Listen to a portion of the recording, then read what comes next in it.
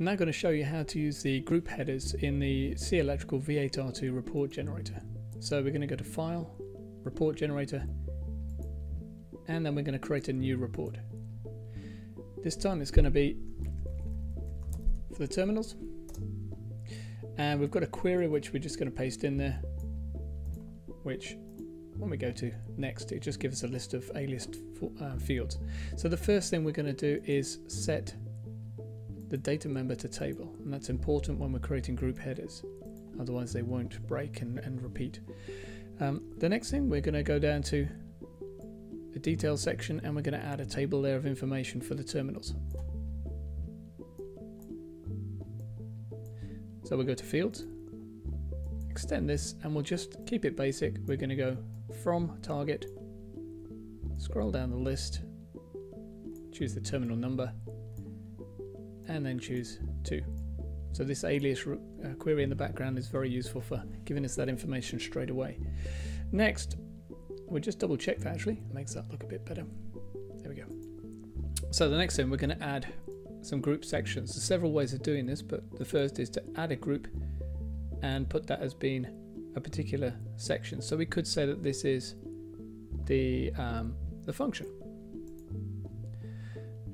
Okay, and then we could add to that, we could add location.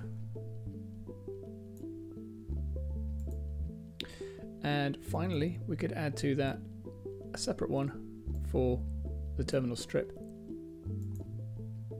Now we only perhaps need a group header for one of those. So we've now got a group header for all of these. So if we just have a group header for this last one for terminal strip, we should find we've got group header 3 in there. So in this group header, basically it will have filtered out the uh, information and repeated for each of the uh, previous sections. So what we can do in the commands there is find a table, drag this in, and we can go to, if we want to, add the function location. It will automatically break without us doing this, but we can add function location and then the terminal strip. And let's just check on the print preview the information we're getting there and we can see that we've got the first one and then you get a new heading each time the terminal strip or the functional location changes. So that's working out nicely. Um, what we can do with both of those, let's just minimize that for the time being.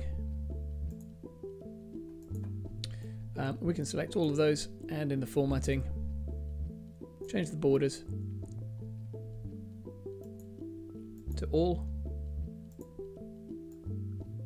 We could perhaps change the alignment to center and maybe for the top one we can highlight that a bit by giving a, a custom background.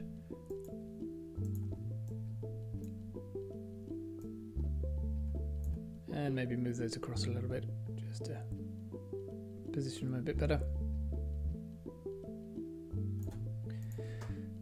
So in the preview, we've now got the terminal strip with a list of the terminals. Now at the moment, they may not be sorted in the correct way. So one thing we can do on the details section is to use the sort fields into the collection and we can add a field which we're going to use for sorting. In this case the terminals have a sort order which is actually called in this case uh, terminal order. Click on OK and we just double check print preview and that's now coming in a different order which is the order defined within the schematic. So of course we can add all the descriptions and part numbers and everything else but this is a very basic way of adding group headers and arranging the sorting.